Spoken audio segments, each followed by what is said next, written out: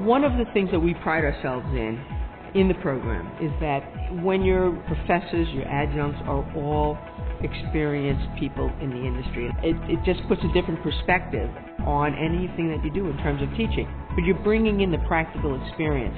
That creates the perspective and that creates really for a student, it puts a totally different spin on anything that they may be confronted with within the industry.